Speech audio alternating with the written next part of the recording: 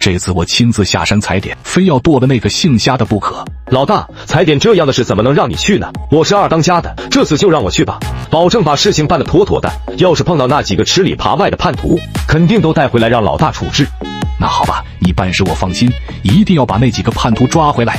老大，放心吧，这里看起来日子不错啊，那个小子还真有些本事。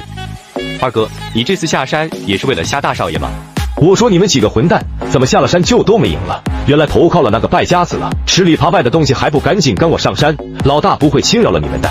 虾少想请你到村后的小树林说几句话。你们是不是想找个没人的地方收拾我，然后送给官府？告诉你，大雁我的青龙偃月刀就在手里拿着，看谁敢上前一步。要是想把你送官，我就不来通知你了。虾少爷真的就是想和你聊聊。前边带路，我倒要看看那个败家子能耍什么花招。你就是虾皮啊，看起来弱不禁风的样子，没想到本事还不小。黑猴，你先去忙吧，我和二当家的说几句话。瞎少，你的安全怎么办？放心吧，二当家的没那么愚蠢。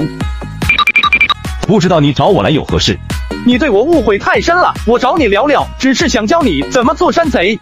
你读书把脑子读坏了吧？我做山贼十几年了，纵横九山郡八个县，街道次数没有一千也有八百，你凭什么教我做山贼？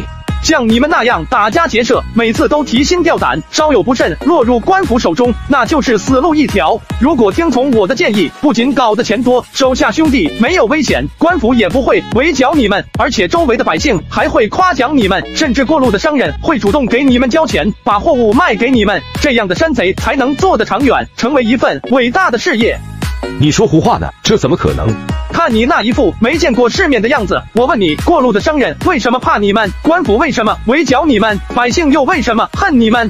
这不是废话吗？我们抢商人，抢百姓，他们自然恨我们，官府肯定要围剿我们。可我们就是靠这个吃饭的，不打家劫舍，我们喝西北风啊！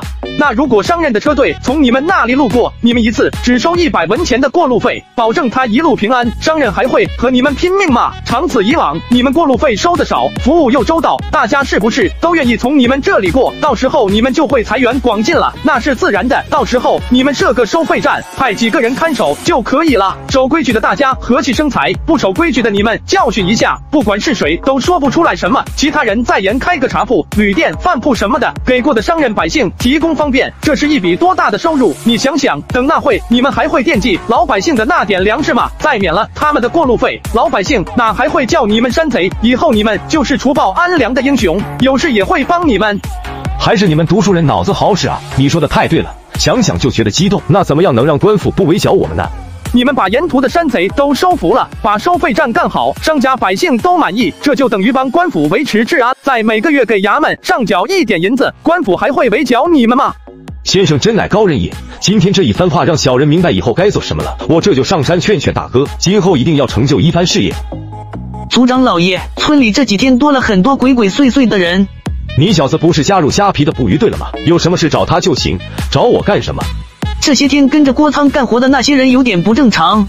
有一次我偷听到他们说话，原来他们都是黑虎山的山贼，这次是来咱们村踩点的。你说什么？他们是山贼？我是村里的首富，他们肯定是奔着我家来的。这次不是冲您来的，他们这次是冲着虾少来的。但几个山贼好像都被他用钱收买了。可黑虎山的人还在不停的来啊！族长见多识广，虾哥毕竟年轻精力少，这样的大事还是要您做主啊。这个败家子平时里招摇浪荡，老夫劝过他很多次，他却越发的做事不守规矩，这下惹出大麻烦了吧？操！我们去找他，可不能让他再继续瞎折腾下去。四海几个不会功夫，所以今天没有叫他们来，就咱们几个说点事。这个世道太乱了，我们必须要有武器自保，这样就再也不用怕黑虎山这些强盗了。私藏武器可是重罪，要流放充军的。现在世道不太平，很多豪门大户都有武器用来自保，只要不闹事，官府一般也是睁一只眼闭一只眼。你们不用怕，我们只有把自己武装起来，才能在这乱世生存下去。我已经在安排炼钢了，到时候你们几个会武功的，一人一件武器，看谁还敢来欺负咱们。什么是钢？绝对比铁剑硬锋利的多，这是我的新发明，到时候你们就知道了。汉山叔，你觉得我的想法行吗？你脑子里的新奇东西太多了，我可跟不上。但造几件趁手的兵器是应该的。现在虾仁庄已经在全县出名了，不少恶霸山贼都盯上了我们，没有武器，心里还是有点发虚啊。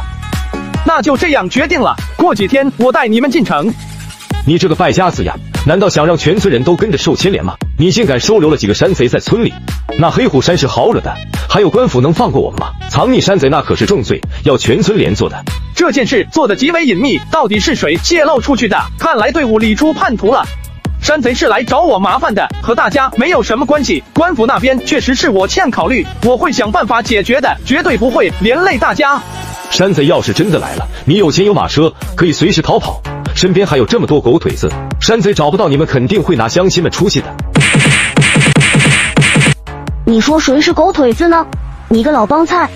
你这个庶子竟敢打本族长，还有没有王法了？